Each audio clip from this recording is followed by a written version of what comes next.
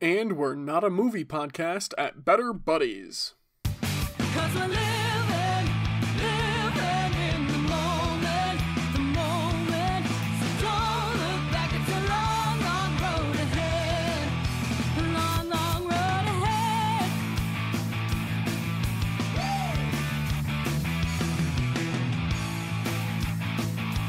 Hello, and welcome back to Better Buddies. I'm your host RJ. With us this week, it's James. Hello. Hi, James. Hi RJ, how are you? I'm good, and you?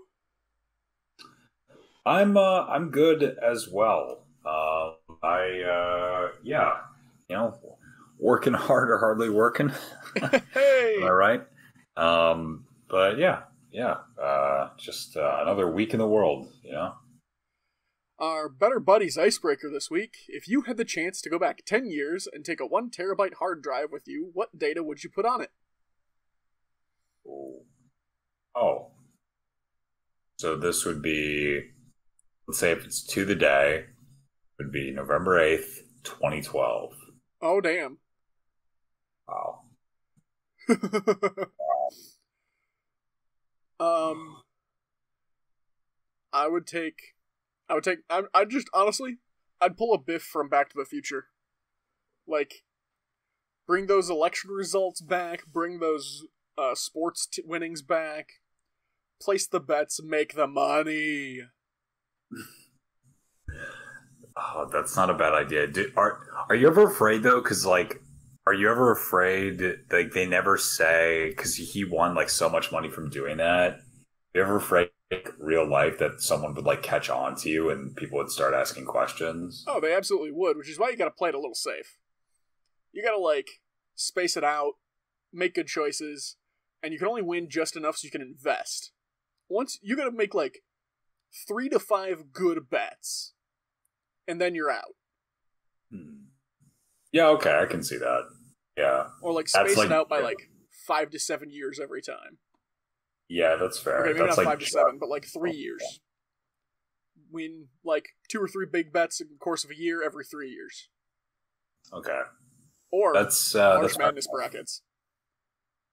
You just win a billion March Madness brackets. Can't you only do like one of those? I don't fucking know.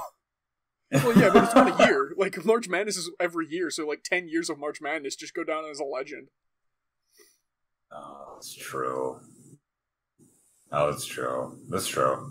Either that, or I'd uh, I'd pull a bunch of media like lists and just go to creators and be like, "Hi, I have your next inspiration." At strategic timelines before they like publish the thing.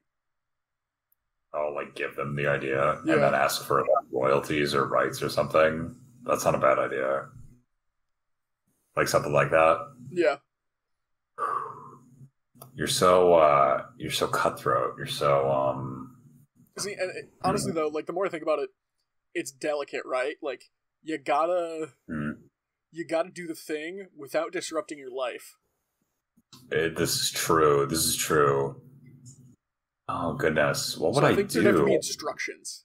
That's what's also on the Terror Drive. Is like, hello, RJ. This is you from the future. Here are the instructions you must follow using the data on this drive. You must still make the following choices. Oh. Oh, so you exist in this past? Like you there so it's not like um you're just all of you just visiting this 10 years like you still have the chance to run into yourself I th- it- it's tricky. Like it's, it's up to interpretation. Either you go back, you revert to ten years ago, but you've got the hard drive. So you're like, what? We're like fifteen or whatever it is, and we're like, oh, we got this hard drive. What's on it? Plug in, and it's like, here is all the information for the next decade. Or okay you go back in time with the hard drive, and like you're just back in time, but you are still running around, and you got to live a decade to get back and close the loop. But you'll never close the loop because you'll be a decade older than when you left. that's like simultaneously fascinating flying um wow That's the problem with like closing time loops is you still live through that time. So like, if you burn like five years to close the loop, and you start off at twenty five, you're now thirty. So like you'll show back up to your place of work, and everybody's gonna be like, "Oh man, you, what happened to you?" and you just gotta be like, uh, I had a really rough day. you ever everyone have one of you're those? 25. Feel like I aged a decade. Ha! What would I bring? Mm, Spec scripts. Bring all the spec scripts. No one pays attention to writers. They only pay attention to directors. oh, that's very true. I could. I could bring back some spec scripts Can you for imagine being the person to bring like Avengers Endgame to Marvel in 2012 and be like, "Hi, I know your plan for the next 10 years. Feige, I've got something for you." I would ransom it to them. Oh man.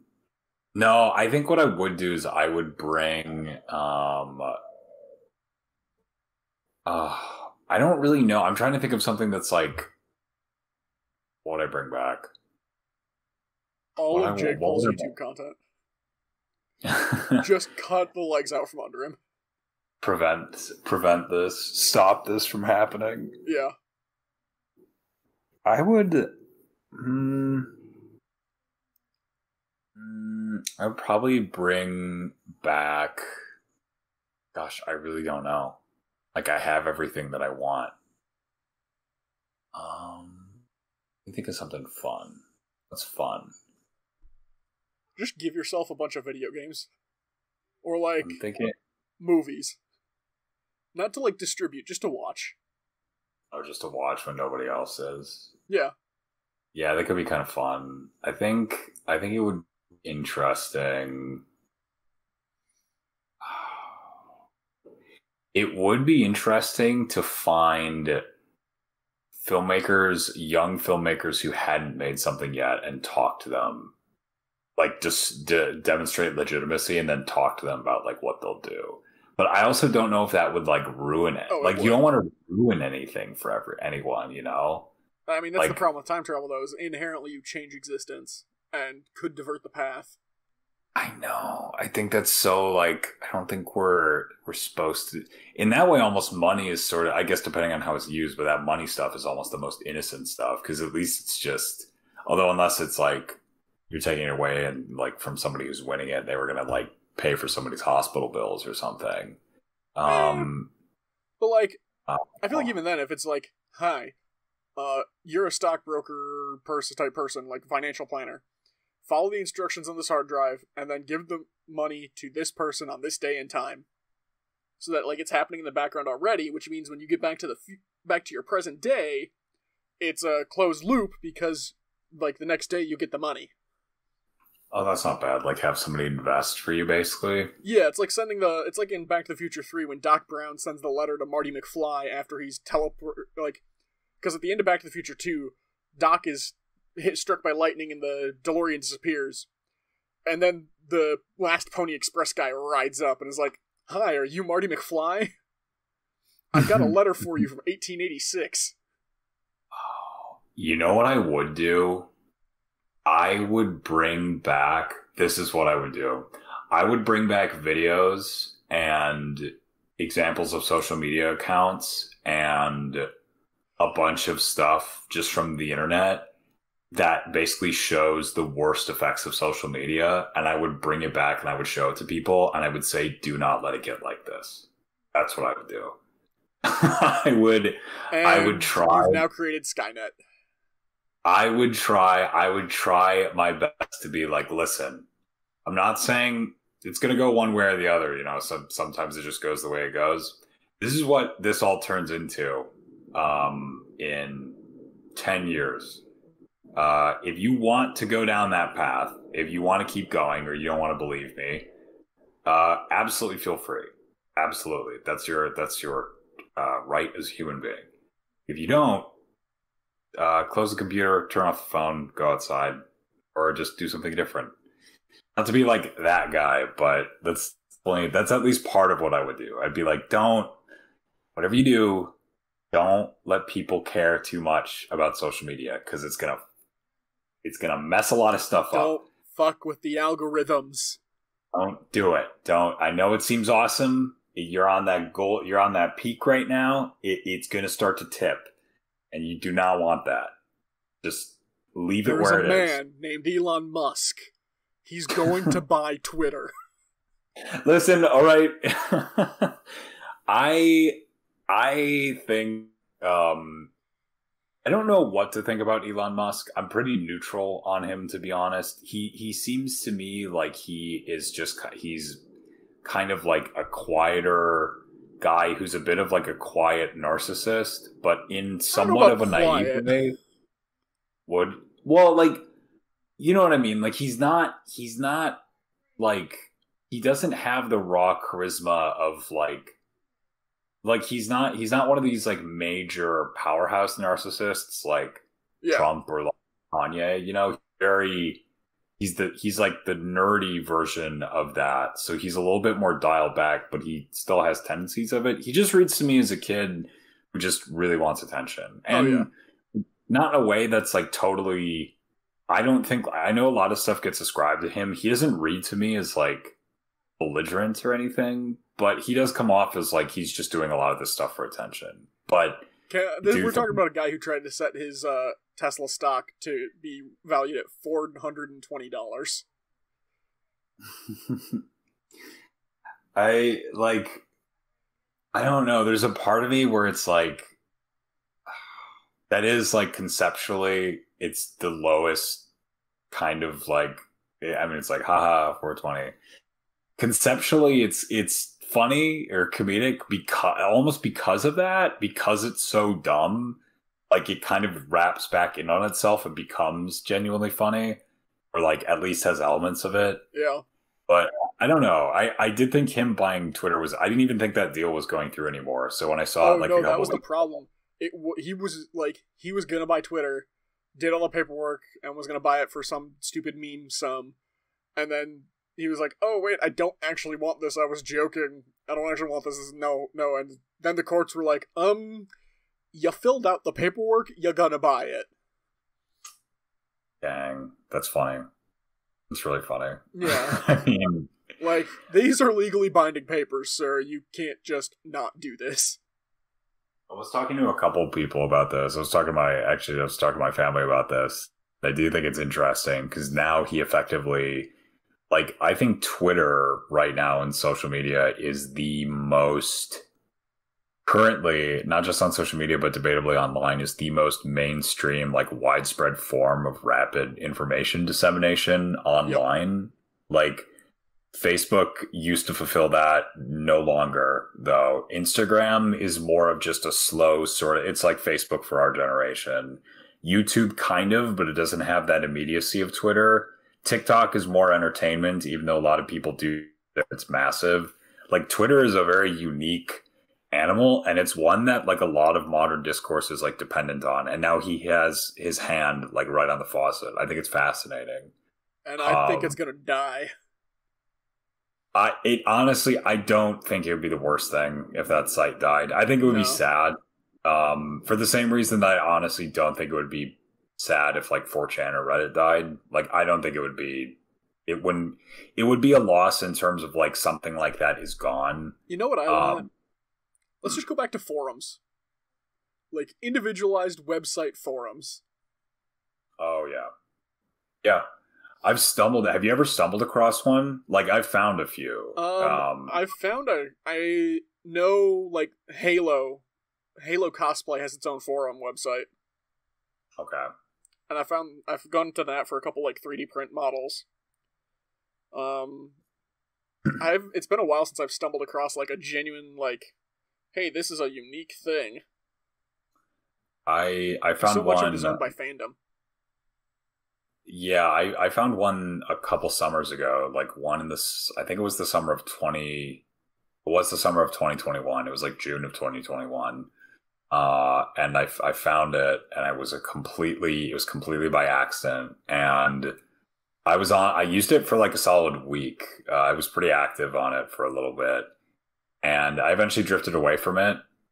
But it was the first time, it was like a little home built website. I mean, run by just like a little group of people and like an audience that started to grow and had these communities that came and went. It wasn't geared towards any specific sort of uh, like you're saying like a fandom or a niche. It was just sort of an internet forum, and it was the first of its kind that I had encountered in my own time, and I was like, "Wow, this is really really cool. I really like this." Um, I do want to clarify. Fandom is actually a company. Like a lot of the wikis are Oh. owned by Fandom. Oh, you mean the site, not the thing? Okay, Yeah. okay, I see what you mean. Okay, yeah, yeah. I And meant, it's I actually a little just bit of a problem. Is like the Legend of Zelda wiki. A lot of the people when it got bought up by Fandom jumped ship to make a new wiki because they just didn't want to deal with like Fandom inserting a bunch of ads into it. Yeah, I think that's completely fair. I mean, I, if you ask me, uh, this is my. You, you want to hear my big sociological prediction? This is What? this is this is James putting putting on his uh his Tinfoil. big his yeah his tinfoil prophecy cap. Is What what, we got? we'll say. I think over the next century, perhaps idealistic. This is what I could see happening, though. I think both online and in the real world, uh, the populations are slowly going to drift from the, f- the focus of the populations as well is going to slowly drift from these major centers and hubs of I- of of information or like like life. So cities or major websites. And it's going to slowly those things will still exist but it's going to slowly drift back to like people are going to focus inward on their own communities. And i think in time like smaller communities are going to take more of a prominence uh, in our public life. And I i, hope so. also think that they're going to potentially give birth to like a- another sort of like form of like the social structure we're living in today. That's what I think. So I hope so too. I really do. Um, I mean- I really, really do. Yeah, it follows the ebb and flow though of like industrial revolution. Everybody surged into the cities, and then Manifest Destiny they surged right back out. hmm I think we're experiencing sort of, um, I don't know what I would call it. There's a lot of words for it. I'll just say like civilization fatigue. Like I, I Yeah. think like a lot of people are just sort of done. Well, that was a that was a great icebreaker question. We got a lot out of that one. Yeah, we did. Nice. Our next segment is Better Buddies Recommend, where we recommend a piece of media to enjoy. What you got for us this week? Okay. So I just started this today. Okay. It's something I wanted to read for a while. It is a book, technically a pamphlet, but it's in book form. And it is Common Sense by Thomas Paine. Ooh. So, really quick for anyone who does not know, who might not know, uh, Common Sense was a pamphlet that was written and published in 1776 by a. This guy apparently had a lot of jobs. He was a lot of stuff in England, from like a laborer to like a seamstress type guy to like a political campaigner. And he eventually came to the United States and he started writing political pamphlets pamphlets for the then burgeoning and somewhat still underground American Revolution. And his name was Thomas Paine. He wrote like a few hundred of them, didn't he? He wrote a lot. I did not know that he wrote so many pamphlets. Um, he wrote a lot. Like I don't know about a few hundred, but I do know that he wrote quite a few. He he from after being known from a common sense on, he like that was basically all he did was write political Pamphlet. Um, so common sense is basically Thomas Paine at the at, at the time the the United States uh, they weren't the United States the colonists So can I were interject real quick? yeah yeah yeah, of course I'm just picturing like the group of leaders in the state, the colonies, like going like, "All right, we how are we gonna win? We we gotta push back against Britain. How are we gonna do this?" And Paine just stands up in the back, pamphlets, and Ben Franklin's got like his fingers at the bridge of his nose, like Thomas, Thomas, we talked about the pamphlets. We need more than pamphlets, but I got pictures I got pictures in here Thomas. It's great, but we need like guns. we need a plan. look We gotta over. We got like. Revere over here had the great idea to throw the tea in the harbor. That's an action.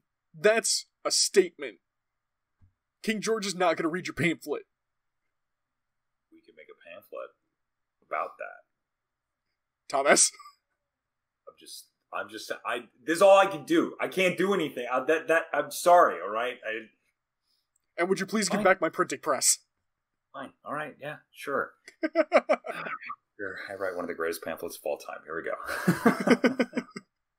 Okay, so no, that's actually start of the revolution, underground. He Mhm. af- he got known after Common Sense. He did. Um, and it, it was really seminal because basically, at, at this time, uh, the revolution was not the revolution. The revolution was the, the colonists did not view this as like a big championship of independence and liberty. They viewed it as them still being English citizens rather than seeking independence. They just they they were basically negotiating for a better better treatment still under the crown. But Thomas Paine came along and he sort of saw in this moment a real, genuine potential for significant change, not just in the country, but in the world. And he put this down in common sense. And basically, like, again, I haven't read the whole thing, but obviously from school, I know, like, he basically made the argument that that that the American colonies had an opportunity to overthrow what had become a tyrannical power and by doing so not only establish themselves as free and an independent colony a free and independent nation but they had the chance to demonstrate that people could choose of their own free will their own government and and build it themselves. Uh, and this is something that uh, like even a lot of the founding fathers found like a very radical sentiment. Um john adams notably was like not a super huge fan of uh Oh. of common sense. He did not think that Paine had a very good view of government uh and he thought that the pamphlet itself would lend to sort of a dangerous radical almost like it sounds like a radical individualism or giving too much power to the people overall what I will say is that I really enjoy uh, so far what I've read, and I've only read a little bit of it. His language is very energetic. It's very persuasive. Um, for what I would almost call uh, an academic, quote unquote, style of writing, something that isn't fictional. It's your non-fictional style of writing. It's incredibly colorful in a way. It's very vibrant. Um, Okay. And he does make a lot of good points in very quick succession. Uh, do you mind if I just read like one? Um, there's one bit like right out of the be- right out of the gate that he says that I I really really love. Um, so he basically like makes a distinction right off right out of the gate between society, basically just a gather a community of people um, which he says is a blessing, and government, which he says is at best a necessary evil. Society promotes social good. Government is supposed to negate uh, our lesser instincts. Um, so he says uh, society, society in every state is a blessing, but government, even in its best state, is but a necessary evil. In its worst state, an intolerable one. For when we suffer or are exposed to the same miseries government, which we might expect in a country without government, our calamity is heightened by reflecting that we furnish the means by which we suffer. And I think that's amazing because he's basically saying, like, it sucks when you live under a government that sucks because you, in some ways, feel responsible for it sucking and you know that it could be better. Uh, so I don't know. I would suggest common sense. I know like this stuff isn't everybody's cup of tea, haha. Uh, but I would uh, because it's it, it time and time again reading stuff from this like revolutionary era or the stuff that fueled it. You really kind of see what these people were going for, and it was not a government. It wasn't. It was a country, like governed by people and laws not by a government. So I would suggest Thomas Paine's Common Sense. Nice. That's correct. hmm What do you got? I'm going to recommend Everything Everywhere All at Once because the only other thing I've done for the last two weeks is play Assassin's Creed Valhalla. Ah, all right. Okay. So you are recommending everything, Everything everywhere. Everywhere All at Once. What did you think of it? Uh, spoiler alerts incoming for Everything Everywhere All at Once. If you haven't seen it and Mhm. want to be unspoiled, skip ahead. Um, I really enjoyed it. It was very well done. Um, I was surprised to find out at the end that it was the Russo brothers that directed. I didn't realize that. Um, Was it? Yeah, it was the Russo brothers. Yo, there's no way. I'm Serious? I'm almost certain.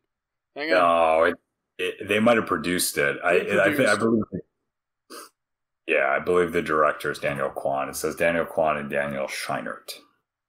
Um, they're the second most commercially successful directors of all time, only behind Steven Spielberg. The Russo brothers. Yeah.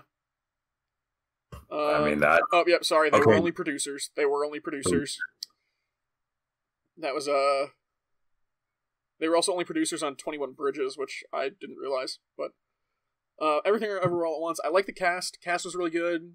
I liked the way they did the multiverse. I thought that was a really fun way they did that, and like their explanation for uh how to do like skills and abilities and stuff, and like tap into it. Mhm. I something about it was just a little I don't know. Like I think I think I needed a little bit more from the husband on his like being nice to everybody. Mhm. or like more demonstration of how his niceness was actually beneficial that she just didn't see it. Because like the climax of the movie is there's the big fight scene that's gonna go down and the main character's like oh, i'm gonna fight your way. And then she does nice things to everybody who's standing in her way that gets them out of her way which was really fun and really cool like subversion but it was also kind of like we saw him be nice like he was generally nice but ineffective at all the prior stuff and then we got one scene of how his being nice did something beneficial and then it was like ah yeah i'm gonna do things your way. It's like could you, I, I wanted like one more scene that she doesn't have she didn't have to be there to like see it but give me one more scene where he's like says a nice thing or does a nice thing or does something goofy that helps the family out. I see. I see. I think that's fair. But oh, and I also fucking hated the hot dog fingers thing. Like hated it like in the movie because it was gross, or hated it just like all around. I I think I probably would have been fine with it if not for the whole like eating their fingers and ketchup and mustard coming out of nowhere. Mhm. Like, why? I didn't. How? I didn't. Why? I didn't find it. I think it's me being a little like stuck up or whatever. I didn't find it as. I found it. I found it like a little too goofy. Like I found it like a little too like ah. That's I guess like, you know. I think part of it too is they didn't take it far enough, right? Like, mm, okay, let's take this to its logical conclusions. In a species where their fingers are all long and floppy and useless, how have they developed and evolved societally to still function?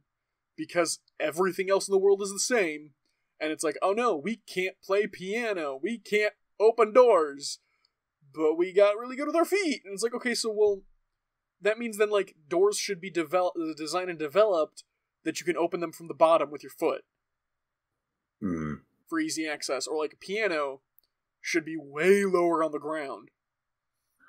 No, that's uh that's a very fair point. Like I guess. And because obviously, like the whole joke is just that it's supposed to be so out of place, and anyone because it's like the whole multiverse could make the argument, oh well, that's just the multiverse. That's that's the multiverse where everything is the same except for their you know their fingers or whatever. Uh, which I which I can understand because it's supposed to be taken almost conceptually. Yeah, But I also agree where it's like I think not following through um does kind of like defeat almost what could be an even better joke. You know. Yeah. And I, again, part of my thing goes back to the like, hot dogs for fingers is weird, but makes sense. Like they set it up of like, oh, in this battle, a gorilla with hot dog fingers defeats another ape and becomes the dominant species. Okay, fine. But they don't set up any aspect of the like ketchup mustard coming out of nowhere. Like why is that happening? Why? Why does it happen, James?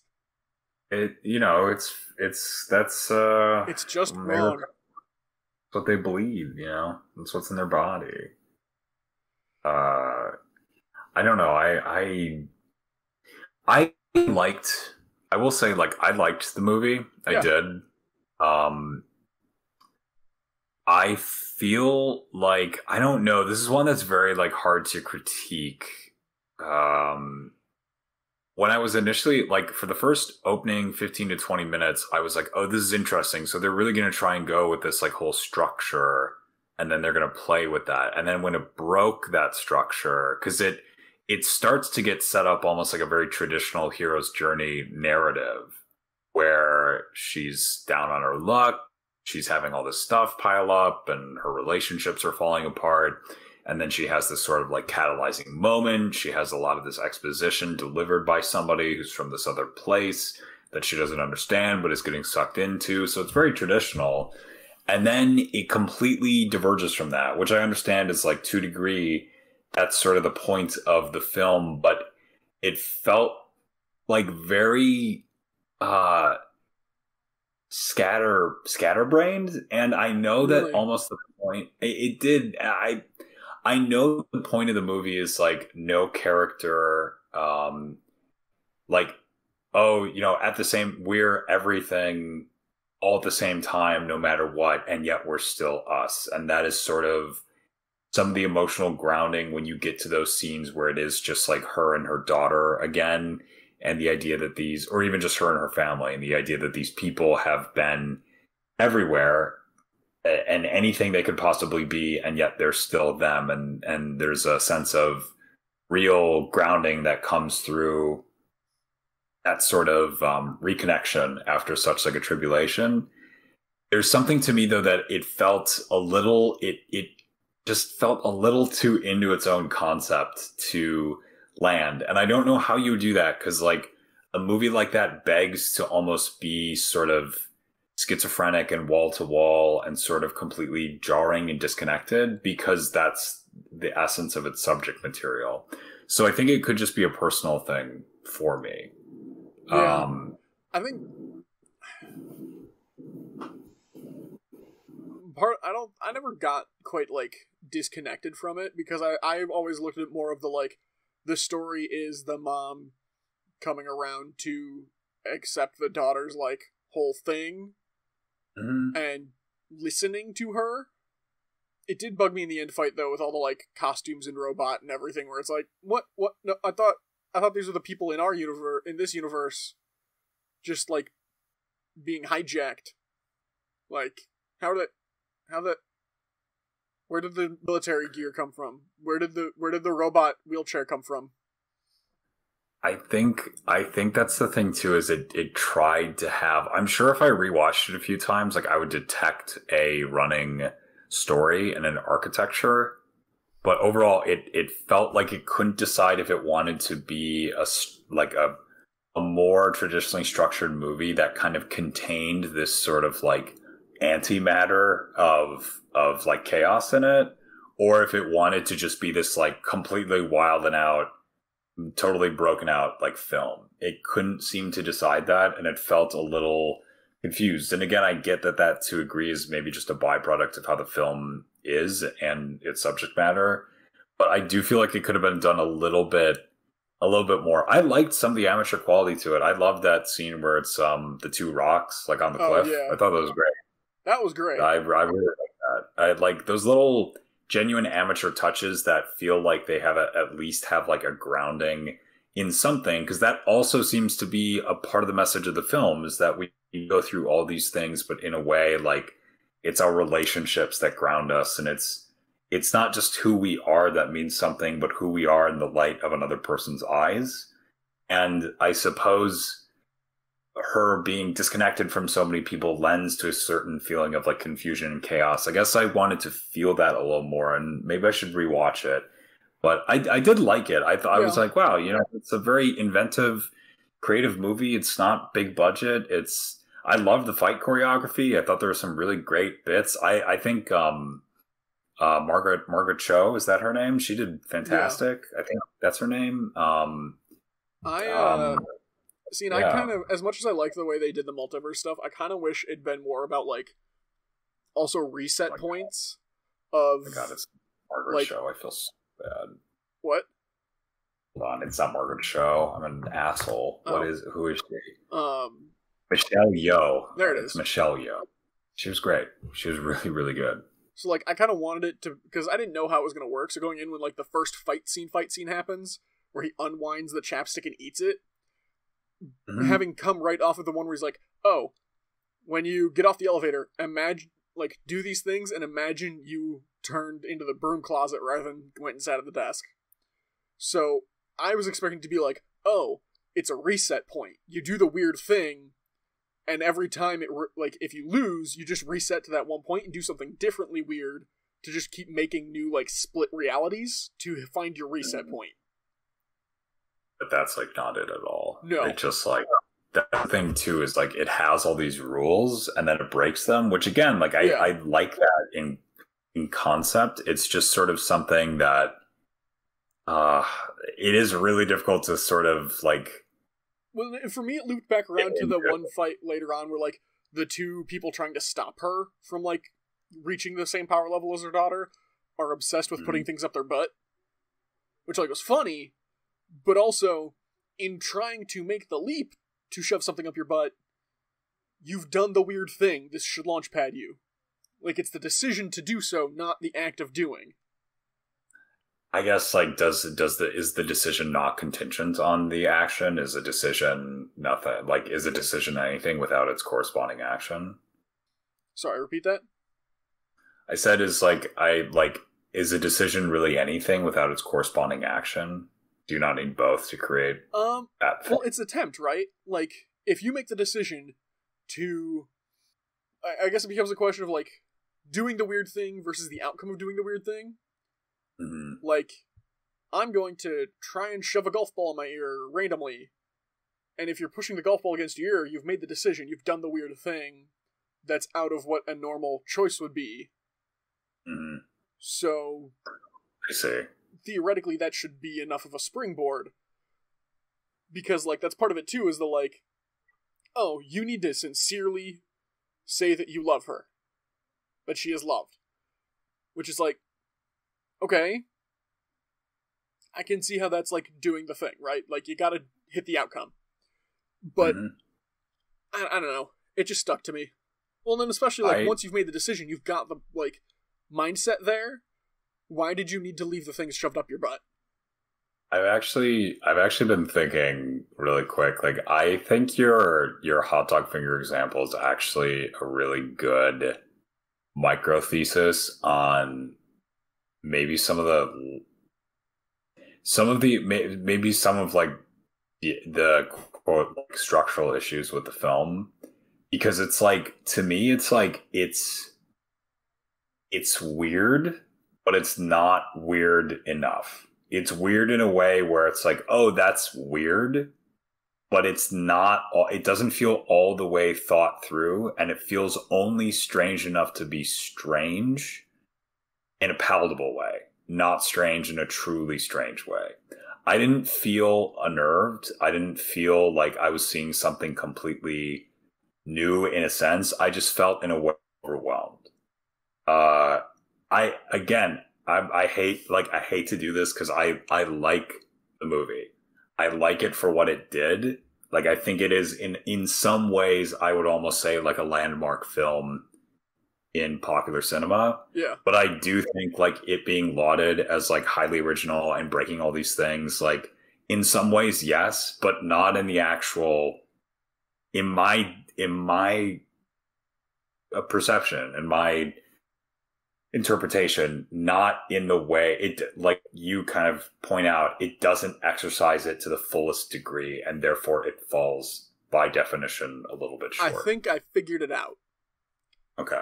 everything everywhere all at once is to the multiverse what back to the future is to time travel Okay. All right. That's not bad. Okay, I can see that for sure. All right.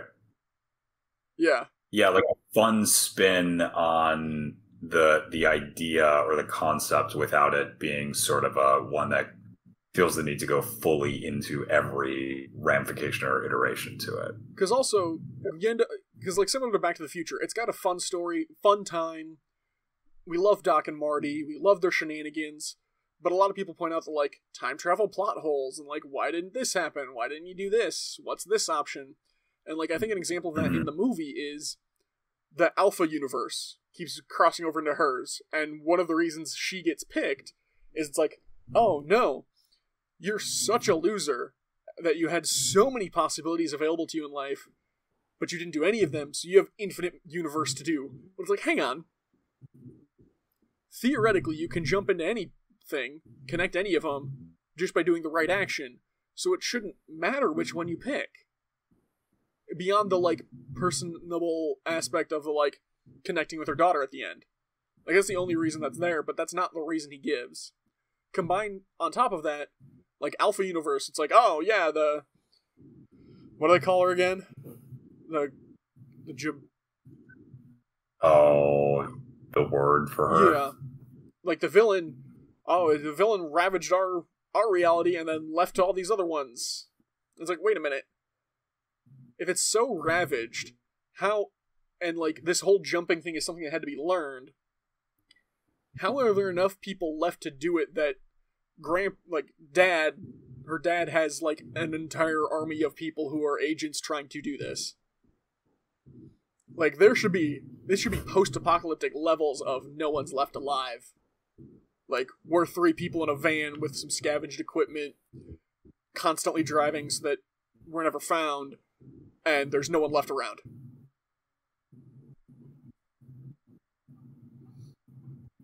Wait, sorry, wind that back one more time. What are you saying? So in the in the Alpha verse, Alpha, uh, Yeah. what's his name, shows up and is like, "Oh yeah, in, uh, in my universe, she like killed all the cows and killed a lot of people and ruined things, and then kind of dipped to go like off on the rest of the multiverse and do her evil plot." And it's like, wait a minute, hmm if she did that, you should be like you and the people in the van, and that's it. How does Grandpa have a small army of Mhm. people who are trained to do this thing when they explicitly said, like, oh yeah, once we connected the multiverse, we started training people to jump into the multiverse and do the multiverse stuff. And, like, you'd think those would be the first people to be killed. Oh, because they'd be found out like immediately. Yeah, like, if you're a multiversal entity out to destroy the multiverse, the one thing you would want to do is destroy anybody else who has the power to stop you. Yeah, that's very. Isn't it to degree? To be fair though, don't they like make? Don't they talk about how they're like they're training to like avoid her? That they like have. Although, do they even talk ever about being able to avoid detection, or ju- or do They- just talk about being able to jump? They don't I guess. necessarily talk about, uh, they kind of do. It's more of a, like, hey, don't get noticed. Like, Mhm.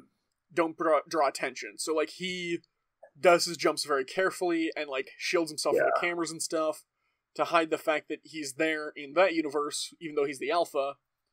And then they've got the van that's constantly driving, so he and he like makes it a point to try and not do weird things, to not get noticed, to not cause a scene, to not draw attention to himself. But that also means that like what in the world it, but again, the dad in the wheelchair is like he's got a bunch of agents who are trained on how to do these multiversal jumps. And it's like, Mhm. If you've got these agents, what is h- how? Yeah, like how has this not? Like you should have been found immediately. Well, especially because she's she's like regarded as this like immensely like powerful entity, and one who would like kind of like you're pointing out like would probably know or have a way to know or at least feel that people are like coming in and out when they're not supposed to be, Yeah, if at all. and especially because part of the thing is like she was trained up by her mom, so she knows the training happens. She was the prime. She was their top successful candidate. So she knows there's an entire whole group of people that were being trained alongside her.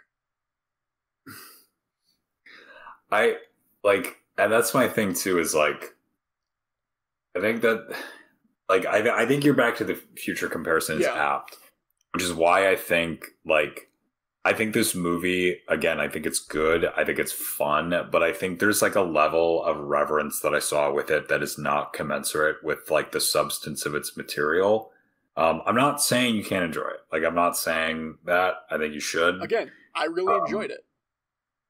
But like I thought the acting I do great. remember there are some people who were like, I, I like, they're like, oh, it's mind blowing, or it's like, oh, it's so different and unique, and it's like, ah, like again, I guess in the way that yeah, Back to the Future was like different and unique, and it was groundbreaking for its time, and I would say that this is to a degree like groundbreaking in its time for the scope. It's more sort of like a structural or from a, a story accomplishment level, a technical achievement of what this movie was able to do with its story at the size that it is, rather than what the actual like substance of the movie is, which like is an achievement, but I don't think is an achievement that is like warranting some of the accolades that it's gotten because it's like yeah it's like it's good. It's it's got it's a really nice car that was built for very like for relatively cheap compared to other cars that are just that are just like it and it does basically the same thing it's really sweet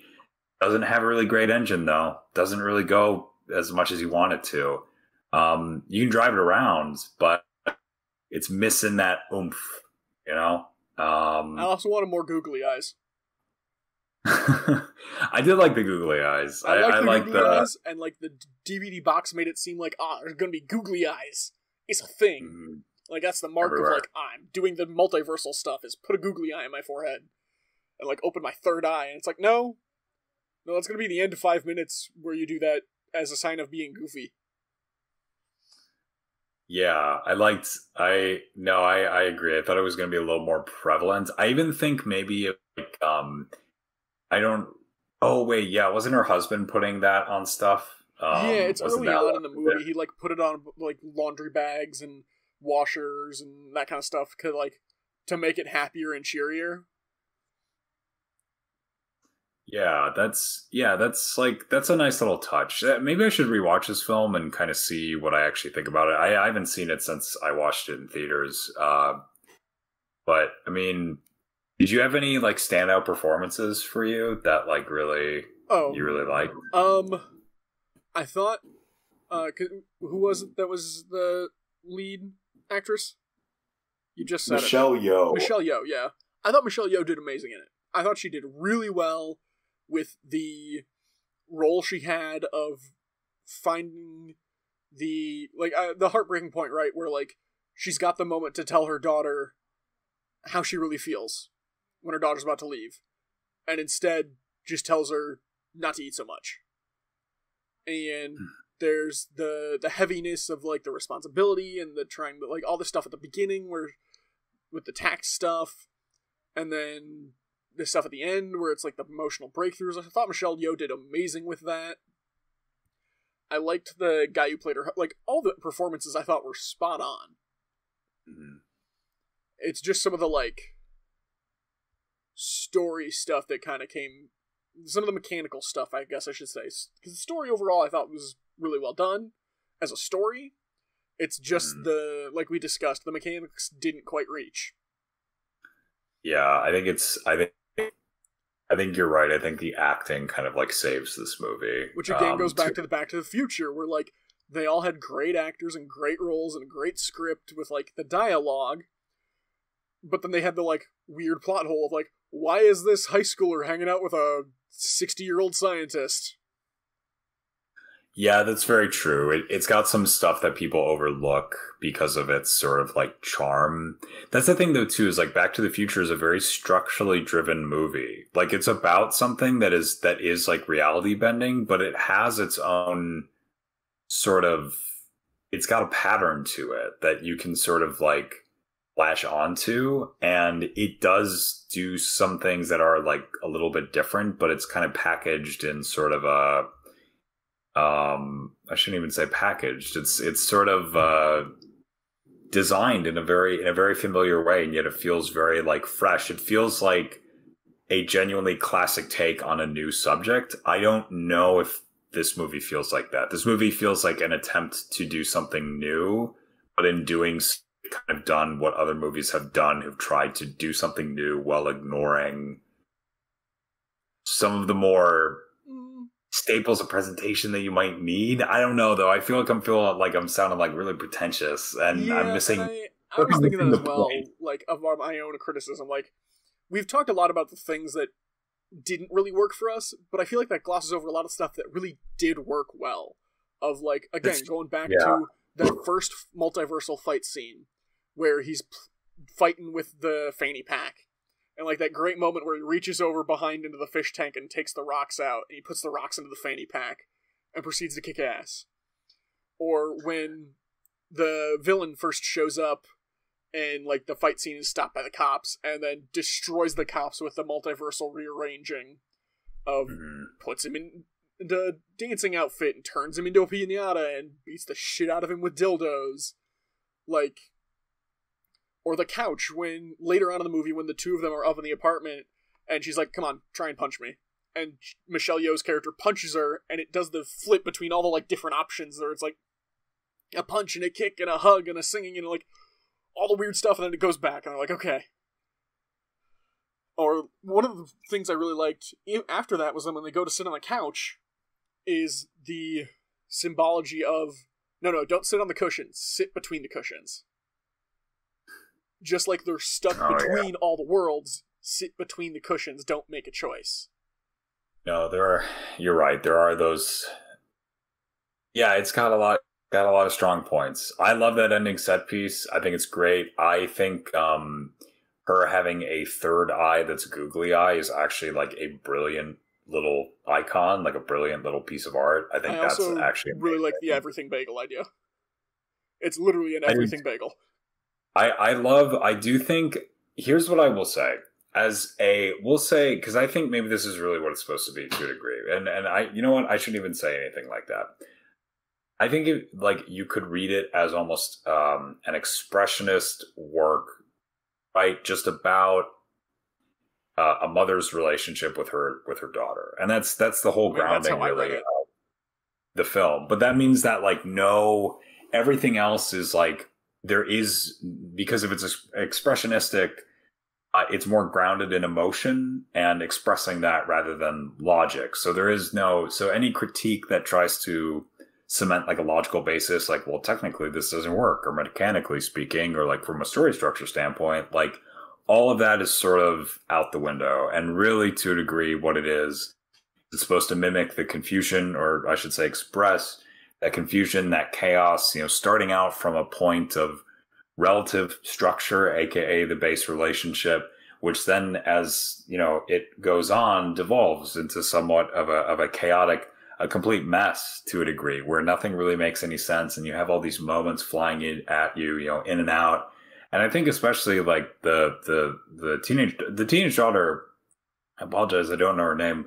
She was great. She was really fun to watch. I think too, just as a, a metaphor for like that really we kind of laugh it off, but sometimes that very much like all consuming teenage cynicism and nihilism that can really take hold of even, you know, people who aren't teenagers is something that's like really prevalent um, and has been for a long time, but really prevalent, I think, with a lot of people sometimes today. And, and that's where maybe a lot of people connected with this is they were able to feel like, wow, like, yeah, I felt like that before. Like, I, you know, it's not even just that nothing is anything. It's just that there's so much of everything all the time that how am I even supposed to process this? You and know, i think a great parallel to that is literally the current streaming wars there's so much content production that how do we process the consumption of it it's definitely a great little like micro example of it for sure. It's just like you have all this stuff thrown at you, and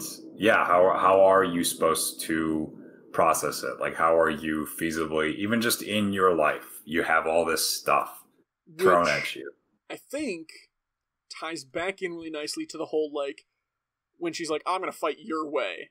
And all the Mhm. niceness and the kindness and the goofiness and the like all those kinds of things being like, yeah, there is a lot of everything. There's a lot of life, and it can be overwhelming to consider how much life we have left and everything that is in life and everything we should be experiencing and we're told we need to experience and everything we won't experience. And then to remember, like, yeah, but the simple, fun, goofy stuff is really why life is worth living. It's not all the stuff to do, it's not all the stuff people tell us we have to do, it's the stuff that brings us joy and brings joy to other people's lives. Yeah, it's these simple expressions of love that, like you say, like bring that joy that makes life worth living. See, now I just remembered another one of the scenes that I think actually like could have been could have had a lighter payoff, and maybe it kind of did. But when they're in the laundromat at the beginning, the husband is talking to one of the customers, and is like, "Oh, you know, this guy's got dance moves. He's dancing with him and building a good relationship with him, and like sh- applauding this old bearded dude's dance moves." And it's like, that's the that's the kind of positive stuff. That's very true. That's very, very true. Yeah. Maybe it is a good movie. Maybe I'm wrong. I think I might be. I should really watch this again. This has Yeah. really got me thinking. I, I think Um, you- I think you should rewatch it again with that uh, emotional lens rather than a logical one. Because I've talked myself right. around in a circle back to like applauding the movie. I think you're right. I think I think I gotta I gotta give my uh I think I gotta yeah, I think you're right. I mean, I did bring this up as a recommendation for a reason. Look at that. All We right. basically followed the whole path of the movie. uh, we're just gonna go to advice this week. We're just gonna do some advice. Mhm. Our next segment, How to Be a Better Buddy, where we give some real and some humorous advice. What is the worst and best Halloween candy? oh, best Halloween candy is Twix, hands down. And I would even argue the best Halloween candy you can get is around Halloween, Twix does Twix Ghosts, which is more cookie and more caramel per bite, and it's amazing. Worst are those like orange and black caramel candies that nobody actually wants. oh, I don't even know. I don't even know what you're referring to. Uh, they're literally like the most generic caramels you can get. They come in like black or orange wrappers, and it's just like, okay, this is nothing. Uh, I honestly, I'm I'm so biased because I'm gonna say this for every holiday. Uh oh. Uh, Re- Reese's peanut butter cups, like You the little wrap ones, dude. Those are the those are the best. Those are the best candy. Some of the, like the best candy at any point in time. Reese's um, Pieces for life. Reese's Pieces, oh son, Mm-mm. you got to give me some of those peanut butter cups. Fuck, I could eat so many of those. So many. So what's the worst? Uh, the worst the worst to me is like um uh i i want to say like mr goodbar i remember not liking those as a kid oh yeah. uh, i remember like seeing those and it's like i'll eat it but i probably won't like it there's another one that's like similar to they're kind of like skinnier fruity tootsie rolls but i can't really remember what they're called um, um, Oh goodness, I can't. I can't remember. I don't know. But yeah, probably so best for me Reese's Reese's peanut butter cups. But like I'm thinking like not the not the ones that necessarily come in the longer orange pack. I'm thinking like the the tinfoil wrapped ones. Uh, and then worst is yeah is probably like a Mr. Goodbar. All right. Our next question: If someone blocked you on a platform, would you try to reach out on another platform? Why or why not? Further details. For example, you're in the middle of an argument on, say, Facebook. They get mad and block you, but you have their phone number or something. Do you reach out because you feel like you're not done, or do you leave them alone? With the edit, sorry if that wasn't clear. I'm not the one who was blocked. I'm a woman asking for a man's perspective on getting blocked. Hmm. So the person was doing the blocking. Hmm. I mean, uh, okay. Here's my cut and dry take. If Yeah, go someone for blocks it. you, the conversation is over. Do not go start it up on something else. they're done. I I would add the caveat of unless you you are genuinely for whatever reason if you're genuinely reaching out to apologize and that apology is not this attempt to bridge or restart the conversation if it is a it, this is maybe contextual but if it's very specific if you're like He's got to be sincere. Yeah, it should be sincere. And by sincere, I mean like you are not writing this apology with the explicit or even the little secret hope that they are going to message you back or even see the message. You are doing this like because you genuinely feel like repentant and sorry. And you can't put a back door like, by the way, I was right. No, no, that doesn't. Yeah, that that's like so far out of the question. Absolutely, yeah. So that is like the one thing I would see. but I I like ninety nine percent of the time I'm gonna go with what you're saying on this, where it's like if you're blocked, it's like take it. That I mean, Take your licks. yeah, seriously, Doesn't matter how right you are. You, in trying to be right, did more damage than probably help. yeah, just you know, it's over. That's it. You tried. You did. But, uh, in trying, stop trying. Yeah. It's like very Taoist, you know. The only real action is inaction. Our next question What do you do when you notice you are no longer that funny guy you used to be till last week? So you don't think you're funny anymore? Is that what this question is asking? I, I can read it two ways. One, either you're not funny anymore, or two, you notice you're no longer that funny guy you used to be till last week when you became funny again. Oh wow, those are very different. Hmm. You're, no- you're no longer the funny guy you used to be until last week when you got funny again. Well, I guess in the first case, you're probably just growing up and you're going through a phase, a cycle. I would also posit were you really that funny before? For case in point, the early thousands were filled with people saying dark, edgy things, thinking they were being funny, and then going, "Ooh, yeah, that really wasn't that funny." It's true. That is true. Yeah, I would yeah, I I would say yeah, you're growing up.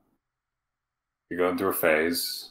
You just left a phase, you're going through another one. The more self uh, examinatory phase. Uh, and uh, that's all right. That's that's natural. That happens. Happens more than you would think. I would also Mm, ask, in- do you Hmm? are do you no longer think you're the funny guy because no one else is laughing, or because you're not laughing and you're not making jokes? Oh, that's very complex. I'll be honest, there are plenty of jokes I make that don't land, but I think they're hilarious. Me too, dude. Me too. Don't worry. We'll we'll get our day in the sun. Like, I, I appreciate the fact that I have a couple coworkers who have a similar enough sense of humor when things are funny that there are points where I'll have to, like, pull them aside or lean over and, like, just tell them. Because I know not everyone in the room is going to find it funny, but they're going to think it's hilarious. yeah, you got to do what you can to spread to spread comedy, to spread the joy of laughter. And I would say, I mean, also, I would I would genuinely say I'm not trying to be some like Netflix comedian here. I would genuinely say like a sincerely funny person, it doesn't doesn't really matter whether people laugh or not. That determines um, whether or not you're funny. Um, it's really just whether or not you're funny. And I think in all in being funny, there's an element to like truth, I think, to that. So maybe you're going through a period where you're just examining what it means. What you believe. truth? Yeah, your, that sound corny, but your truth. Perhaps you're going through that. And uh, you can look at it potentially as that period is probably going to be a little bit painful. But if you're able to navigate it, which many people do, you may just find that you come out a little bit or even a lot more funny than uh, you were before. I would So- also posit if your profession is comedian, you may want to consider updating your resume. No, don't dissuade them. You know, but They gotta make money wrong. till they're funny again. It's true. This is very true. Yeah, you can always be what? What do comedians do when they're out of work? Uh, waiters, waitresses, dishwashers, um, Yeah, they kill people. buskers, Uh, you join a mob. You do that. taxi driver, uh, long haul trucker, teacher, Yeah, garbage truck guy, garbage man. uh, custodian. Yeah, yeah. Honestly, take take a break off. Take a break. You don't always have to be the funny guy. You can be something else. Just go do something productive for society. Yeah, exactly. And then come back and be funny. Boom, roasted. Implying comedians don't help society. They do in their own way. yeah, they do. by providing the menial labor. yeah, I think all comedians, all working comedians, starting the first of this year, should all become garbage men. Honestly, though, they should get. Yeah, I don't think it's necessarily the worst idea. near do I. Just like put them back in the Yeah, shoes of regular folks for a hot minute. Yeah, I I do know like a lot of comedians. Like there are quite a few who've done like you know they have worked those before, but there are also a lot who. I, I, don't think know- Jerry Seinfeld knows what it's like to work a hard day in the last like I, forty I think years. I think you're probably right. I think uh I mean there's not it's there are elements of doing that type of stuff. There's elements of show business that are tough for sure, but um yeah, he's he's no garbage man. Apartment worker. Not he's not making little rocks out of big rocks. Yeah. Maybe Jerry, maybe you should be before you die. Maybe just for one year. See what it's like. See what some people live Comedians in cars like. getting coffee is you be a barista for a day. Yeah. How about that? A, a barista at a different place or at the same place. I think Jerry Seinfeld should work at a Starbucks somewhere in New York Oh for a God! year.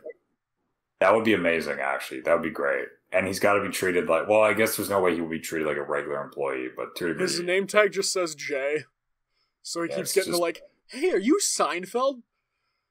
I get that a lot. It's like, no, I just look like and sound like him. What's the deal with that? Um, our last question this. Oh wait, nope. Our second to last question this week. What percentage of news do you reckon you get from social media versus direct platforms? Like, can I do 110%? I don't know that I get direct I- news anymore. I would say I don't know because like I will like if I I did it uh, earlier this evening. I'll I'll just go to Google News, which I know is like not awesome, but it is like a curation from all around the web. And granted, it's like tailored to you to a degree. Yeah. It's not incredibly accurate. Honestly, you just go buy a newspaper or just don't read or watch the news. What what's in there? What's in there that you gotta know? Who cares You know what I about mean? potential World War Three when Russia invaded Ukraine? Like yeah, that, that's that. all. That's all external. a that's multi-year that's- global pandemic, eh, minor detail. that that's you were gonna figure that out whether or not you read the news all right Yeah. like chances are right you don't you know the, the only news you should pay attention to is your local news all right? Buy buy the local newspaper watch the local television station. Don't give the big guys a moment of your time all right? They don't they they're not worth it. You're better than that. You really Societal are shrapnelization. yes. Yeah exactly. Yeah don't don't let them turn you into fucking shrapnel you know? No, no, no, no, no. It, it, it's a playoff content shrapnelization where content becomes so, so hyper specific in terms of like streaming and all of the options available in the attention economy that similar to how you were talking about earlier, where society was going to go back to like more com- like smaller communities and focused inward communities that we're gonna it's gonna shrapnelize instead of being one massive community it's gonna shrapnelize into a bunch of little communities Hmm. Like news is? well yes but also like you focusing on your local news will result in this as well Oh, that's see, that's good. Infinite. I, I honestly, I encourage that. People invest more in your communities, and this is this is already this is so trotted out. But uh, I'll keep. I'll say it. I'll do it. Do it. Don't. Don't. Who cares? Those big. Those the. the they don't. I, I don't mean to be so freaking cynical, but they don't care about you. They really honestly don't. They say they do. Those people are so far removed from how you live. It's not even funny. They're on a different planet, all right? But your local They- newspaper, those people live in your community. They do. They do. They're people just like you. Chances are if you if you can write decently or if you want to do it every day for the rest of your life, which very few people do, you could do it. You easily could. You have stuff to say. You definitely do. Be the local Uh, town crier. Call out what's happening in the town today. Yeah, yeah. Start your own. Do something. You know, like there's, I don't know. There's so much more to focus on. Just think of let's let's think of a little analogy here, uh, or a metaphor. You know, those big the big news people. Um, let's say like they almost. And you want to be the little nerdle that happens after the massive turn is over with. Yeah, there you go. That's I I was I was going to say they're more like um picture their relationship to the rest of the country as almost it would almost be like a a small island of people deciding what goes on in a very big country. Now, wouldn't that be crazy? wouldn't someone have to do something about that? That's what I would say. Um, James? that's just James? metaphor. James, no. Hmm. No, James. I'm, I'm just, I'm just saying I'm not metaphorically. proud of my shit joke, but I don't think that's better. metaphorically speak well it's not a joke metaphorically speaking that's what it feels like sometimes uh but again you know that's my perception Our last question this week is a woman who vapes a turnoff for you and why. With the further details, it's a turnoff for me personally, but I somewhat think it's unfair to judge someone off a habit like this. What are your thoughts? Mm.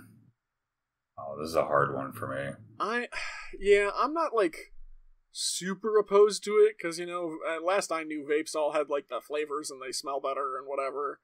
But like, I don't want that shit in my house. You know, like same with any other smoke or like yeah, okay, fine, it's just water vapor, but it's still friggin' nicotine content and it's still like smelling up my house.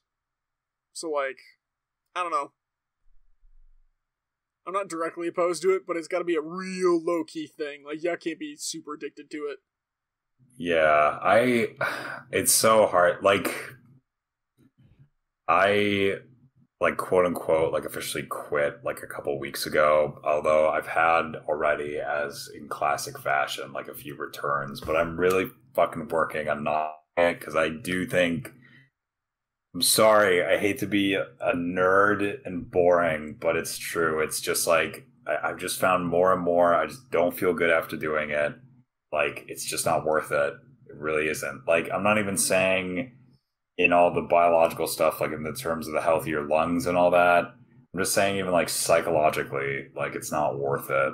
Spiritually, even it's not worth it. I don't think. But um, that's just that's like a, a that's a me thing. So it's not a turn off for me. In all honesty, um, it it really isn't. I I would I would. Uh, no, I, I would accept you kind of like regardless. And I think for me to sort of like put my inclination, inclinations or declinations, predispositions onto you, um, is judging you unfairly on a what really amounts to nothing more than a cosmetic I factor. I think it is fair though, like having similar life opinions and choices on this kind of thing is kind of important. And I would say that my ranking is as follows: like, I'd say weed is the worst to me. Like, weed cigarettes are just absolutely the worst because they reek, they smell. I don't care that weed isn't uh, apparently isn't bad for you. I don't care. It smells awful. I hate it. It is Cigarettes aren't better. Cigarettes smell like crap. I don't like those either. So vaping is the least offensive to me, but it's still not something I'm into. Yeah, it's it's just um I mean I've done I've done all three. Um I can I can tell from firsthand that I don't care like I'm sorry. I don't care what people say. Like like weed, pot, whatever form it comes in is not good for you. It's like this whole like, oh, it's better than an alcohol. Um it's different. It's definitely not better. Um cigarettes are my my that's that's the love I had to say goodbye to because that like uh I get like if you've never been addicted to them never if you've never enjoyed them before I should say to be fair to both sides very difficult to imagine enjoying them but once you have enjoyed them it's like they're very hard to give up because sometimes they just go well with something but I still think you should probably leave them at the table because it's just it doesn't really set a good example. It's like worth it in the moment, but it's literally the definition of a temporary pleasure. They're almost sort of like the modern ethos uh, packaged right for you. And then vaping is like I don't know. It's it's okay. It always made me feel kind of sick, honestly, because it's like you you never have to stop and like I don't know, it always made me feel like a little weird. So I, I, yeah, I wouldn't condone either. Just, Just Do anything. things that aren't air in your lungs. yeah. And to be fair, to be fair, RJ, you and I both enjoy a good drink. Uh, So- be, I, I will acknowledge that, and that is my vice. But li- alcohol is supposed to go to the liver. That's how it gets cleansed out of our bodies. There is no such device for our lungs. Do you think if there was like a liver for the lungs, like this stuff would be more acceptable? Oh, Would absolutely. you find it? Okay. That's fair. I never even thought about it like that before. Because like, There's, yeah, you can still develop liver pro like alcohol. You still develop liver problems. You're still poisoning yourself. It's still super easy to like drink too much and hurt yourself seriously. You can destroy your brain. You can destroy other parts of your body. Like alcohol has plenty of health problems that come associated with it, including addiction. Don't get me wrong. Mhm. And like, it's not really what the liver was intended for, but the function of the liver is to clean our blood and remove things and clean up. The lungs have no such capacity. And maybe that maybe I'm wrong in like, oh, the live because it's all going into the bloodstream from the lungs that then the liver cleans it up too. And I just don't know biology because I was an English major, but No, the the damage you do, it's not irreparable if you stop like slowly but surely your lungs, especially if you stop when you're a little bit younger, your that's what lungs it is. will I just figured it out. So drinking, as far as I'm aware, doesn't damage the stomach, like in the same way that putting smoke or vape or whatever into your lungs damages the lungs. I would uh, honestly, I would say like I think I know for a lot of people like they'll never do it, and that's a good thing. Um, I do ascribe to an idea of like the greater the sinner, the greater the saint. So, and I mean that only in the sense of like if you're doing it right now, like totally fine. You can keep doing it. And I know that sounds so like ended and passive aggressive. I genuinely mean it. Like We're here to give advice, not run your life for you. yeah, there's no, there's genuinely no judgments. Genuinely, like, you know, um, I, I, I will say if you are able to stop, uh, because sometimes it's just like sometimes you just find those things in life that you can't talk your way out of, you can't logic out of, you can't even feel your way out of. You just don't do them. And maybe for you, it's not that. Maybe for you, it's not. Maybe it's something else. But if it is that for you, and if you're able to surmount that, you will find I don't know, you you'll find you're a different person than you thought you were in yeah, not like a super cool, fun, sexy way, but in a more grounded way that I think is, is it's not it's not quite it's not quite enlightenment. It's yeah, you're gonna yeah, that's um You will transcend should- the human experience. yeah, you get addicted, smoke Lucky Strikes for five years, and then quit, and you will experience enlightenment. That I'm gonna, you know what? I'm gonna start a cigarette brand called Enlightenments or fucking Nirvanas, some Buddhas. I'll call them Buddhas, and you'll the whole point is to get addicted to see if you can stop. Look at that. That's I got to think of a different name. I'll think of a different name. I got to think of something. But yeah, that'll be that'll be the that'll be the whole point. But no, I would just as somebody who has done it and is currently going through like the out stage phase, like do whatever you want. Don't care. I personally don't find it a turn off. I really don't. I think I know that they're gross. I find it. I don't find vapes like cool or sexy because I think that it it's just not aesthetically whatever. It doesn't look good. Cigarettes are cigarettes can make you look cool. They can, and they make you look sexy. So Bad yes, James. they can. Bad Yes, James. No they biscuit. can. That's the that's We the- promote healthy living. well, No of course we stick. do. But for the same reason that you can look sexy, someone can look kind of hot holding like a, gl- a glass of whiskey or wine in a certain way. Someone can look sexy holding a cigarette in a certain way too. They both symbolize things that are relatively of taboo, and for that it's not the reason, cigarette itself. yes. But it is the the act of like the. All right, we gotta wrap it this up. Okay, I'm, I'm I think we're sorry. 20 minutes over. Oh, I'm sorry. You have so much All right. Thank you for joining this week. You're welcome. Thank you for having me. Thank you to the band Problem of Interest for letting us use the song Living in the Moment off the album Cross Off Yesterday. You can find them on iTunes and Spotify. You can find us on iTunes, Spotify, Amazon, or wherever fine podcasts are sold. We're also on social media. Our Facebook is Better Buddies. We post our Meme Mondays and sometimes our icebreaker questions. You can also reach us on Messenger there. Our Twitter is at BetterBudcast. Use the hashtag BetterBuddies when you tweet about the show.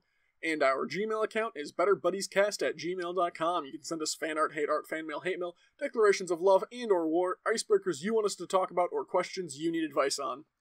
Last but not least, be a better buddy.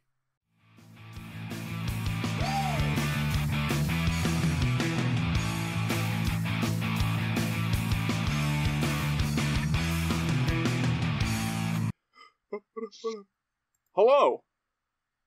Hello. Ah. How goes it? It goes. How about you? Good. We're about to record, so are you would you like to stay for that? Can you stay for that?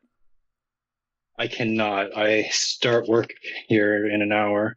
I just saw you were on and figured I would say hi. I appreciate that.